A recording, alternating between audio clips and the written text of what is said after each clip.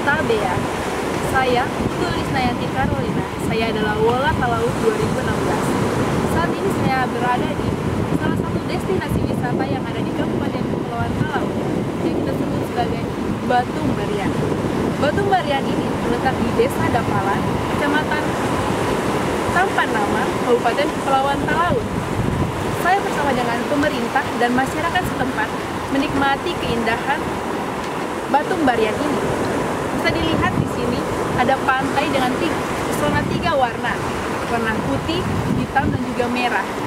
Selain itu, kita bisa melihat di sini ada batu yang begitu banyak yang berukuran raksasa. Namun yang menjadi satu daya tarik tersendiri adalah batu barian yang ada di belakang saya.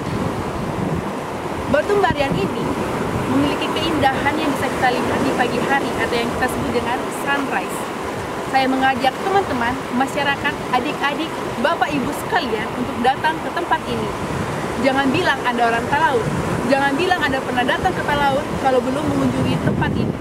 Batu Barian, Desa Dapalan, Kecamatan Tampan Nama, Kabupaten Talaut.